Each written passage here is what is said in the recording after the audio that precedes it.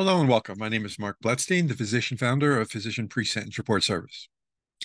Today I'm going to go through a tutorial on how to use email, how the email and phone systems work within the Federal Bureau of Prisons, as well as for those of you who are at home and what you should expect when you get a phone call and how to make sure that you're ready to accept an email so that you can communicate once your loved one has it all set up once they're in prison.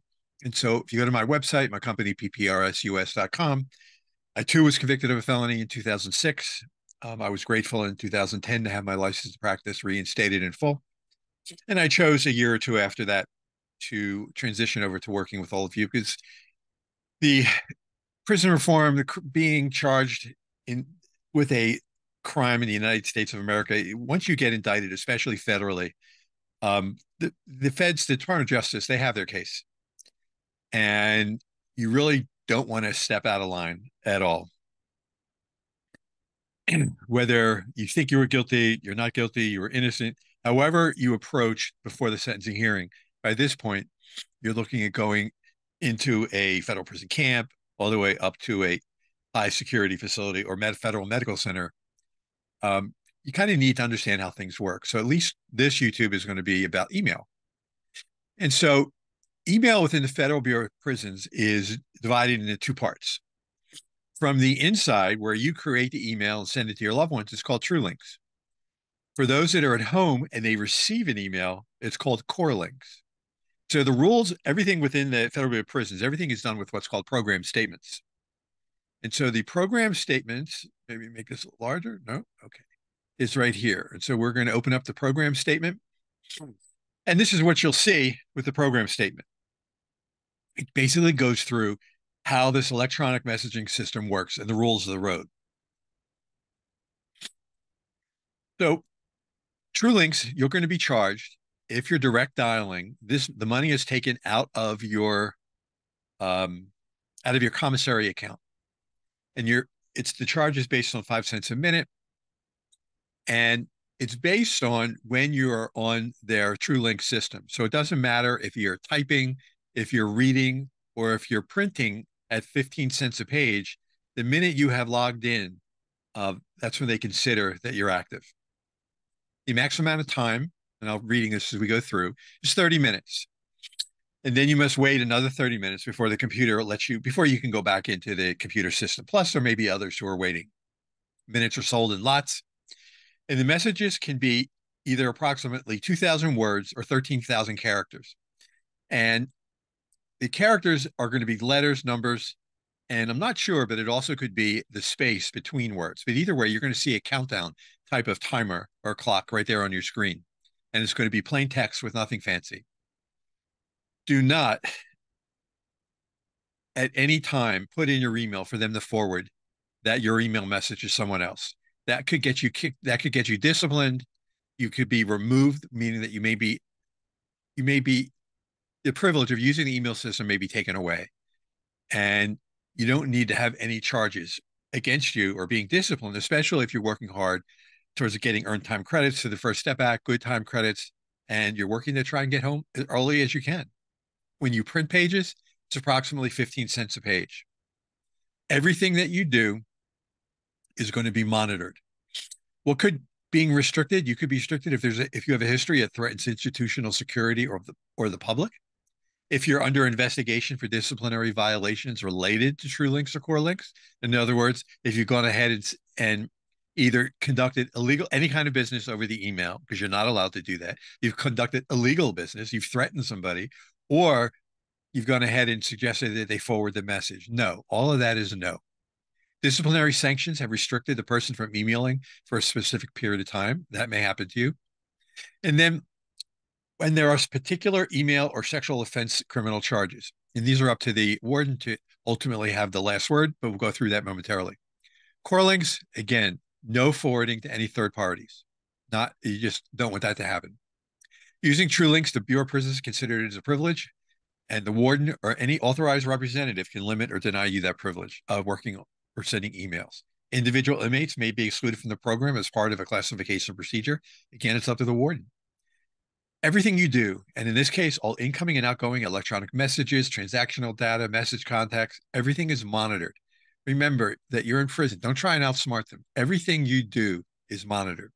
And you may think you're getting away with something, but you know, it, it all depends if you like playing Russian roulette with a loaded weapon.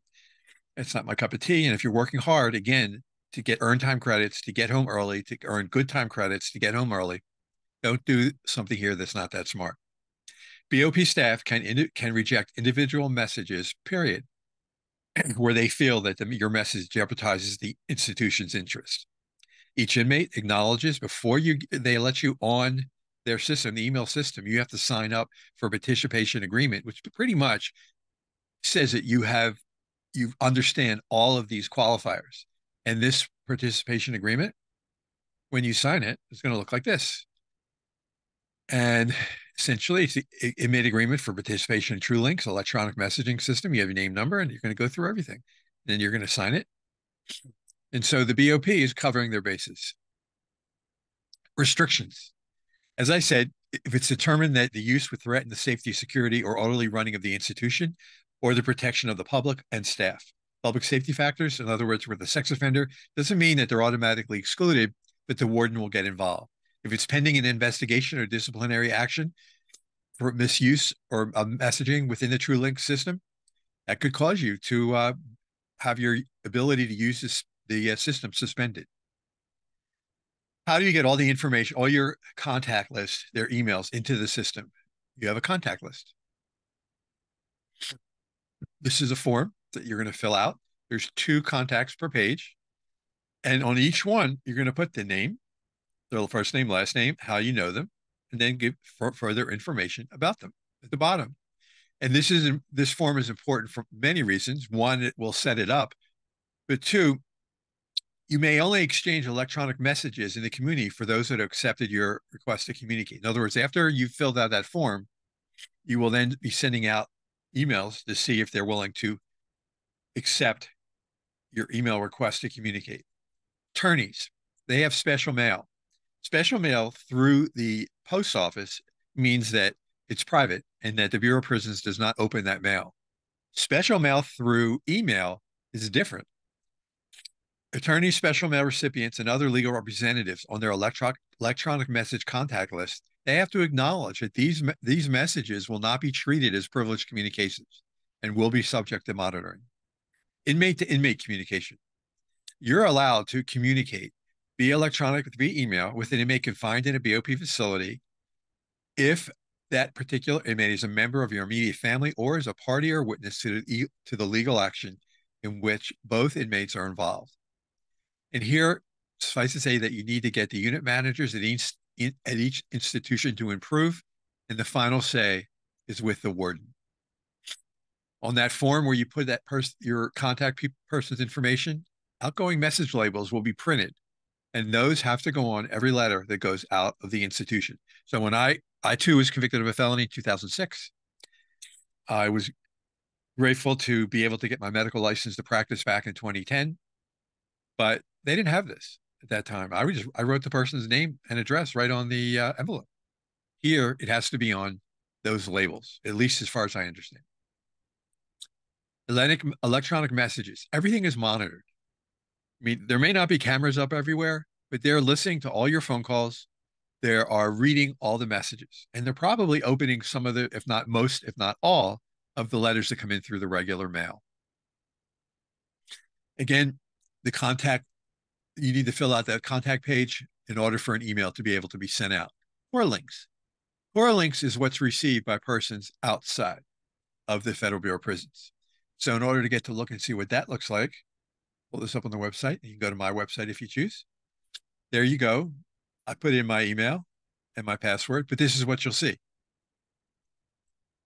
And so here, initially, you may not have gotten the email alert yet, but you can start.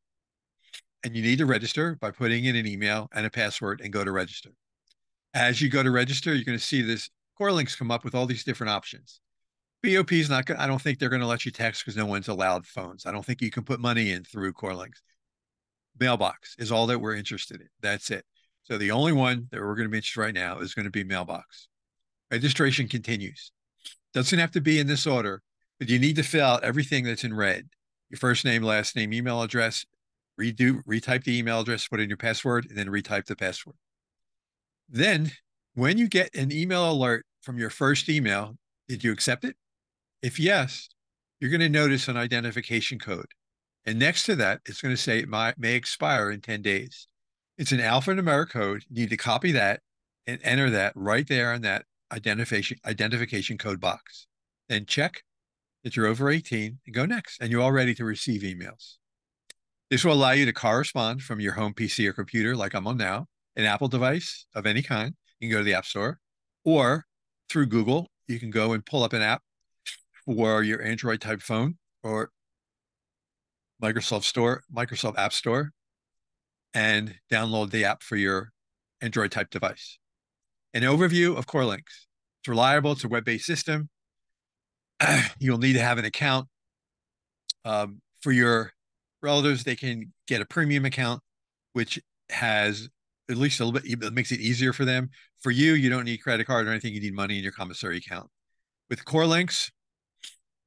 CorrLinks, they have a password. Don't worry, the system has you covered, and I'll go through that in a minute. But you cannot talk to them.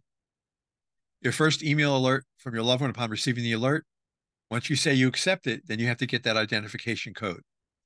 If you're thinking about blocking an inmate on CorrLinks, really seriously consider it because once you block them, you have to go then through a lengthy process where you got to mail the Federal Bureau of Prisons and jump through their hoops. It's a long process. It's not easy.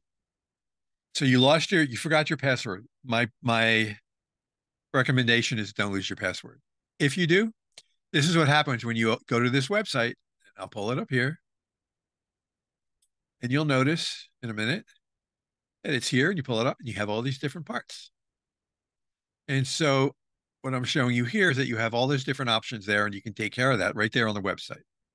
We're now going to move over to phone calls. Remember, calls are monitored and recorded. No three way calls are allowed. This can result in you getting disciplined, being put in the shoe or the hole, or being restricted from the telephone or commissary. It's just not a good way to begin. Hours you can use it could be from six in the morning till maybe 11:30 at night. It depends.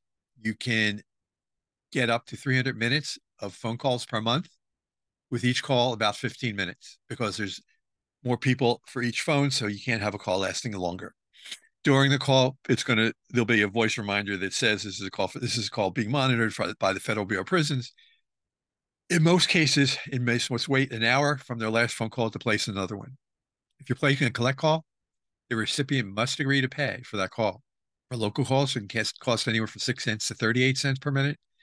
Long distance up to 56 cents per minute. And this could be this could be old news for all I know. Direct dial can cost you for local calls up to six cents, long distance anywhere in the US, 21 cents, Canada 35, Mexico 55, other international calls 99 cents. Again, this I'm not I'm not promising that this is current information. In November and December, the wardens may authorize additional minutes on top of the 300. For those who, of you who are in state prison, your calls are much more expensive. Uh, President Biden signed a bill. We'll open that up right here because your the cost of your phone calls are something like five dollars. It's just crazy money. Um, some of them, well, I don't know. How, I'm not sure how what the average price for calls are, but some people had to pay two hundred dollars a year to talk to a grandson. I mean, it it was crazy money. But this particular law was signed in. This particular bill was signed into law, and so hopefully that puts a dent in that. Lastly, cell phones. A new law, new law makes possession or use of a cell phone or wireless device a crime, and it's punishable by up to a year in prison. The person who smuggles the cell phone or wireless device into prison is also guilty of a crime, punishable by year in prison. In prison, and on top of all that, you've worked so hard to try and get out early. You've now lost good time credits from First Step Back programs. If if you've been on the drug program and you come out of it, they'll take it away. Earn time credits for good behavior. I mean, good time credits for earn, is good behavior. My mistake. Earn time credits is first step back, and if you earn, if you took the RDAP program, they could take that away, as well as they could put you in the hole or shoe or isolation, and maybe even triggering where they decide to send you to another prison facility. I hope you have found this helpful. If I went through this too quickly, please feel free to go back Physician Pre-Sentence Report Service, pprsus.com, and then just you know Google look here for using email and phones in federal prison, a step-by-step guide. I hope you found this helpful, and I hope you all have a safe day. Thank you for listening, and I'm grateful for your time.